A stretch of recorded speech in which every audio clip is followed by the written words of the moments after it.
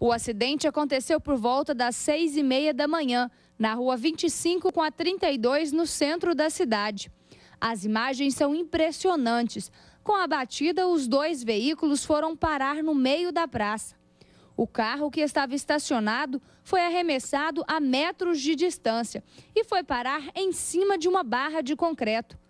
Tarsis Aparecido dos Santos, que estava dirigindo, tinha acabado de sair do trabalho. Ele acredita que cochilou e perdeu o controle do veículo. Estava saindo da, da, da, empresa onde eu trabalho e estava subindo aqui na avenida e pediu o controle do carro. Vinha colidir num palio. Estava estacionado. O senhor estava na igreja. Trabalhei das 10 às 6 da manhã. Provavelmente eu devo ter cochilado no volante. Machucou tava... alguma coisa? Não, só pequeno esfolão só e acho que só isso mesmo só.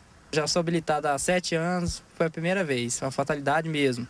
Assustou bastante, o carro girou no ar, o meu também girou 360.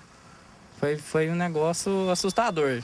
Qual velocidade que você estava em média ou você não lembra? Ah, eu estava em média uns 40, 45 km por hora.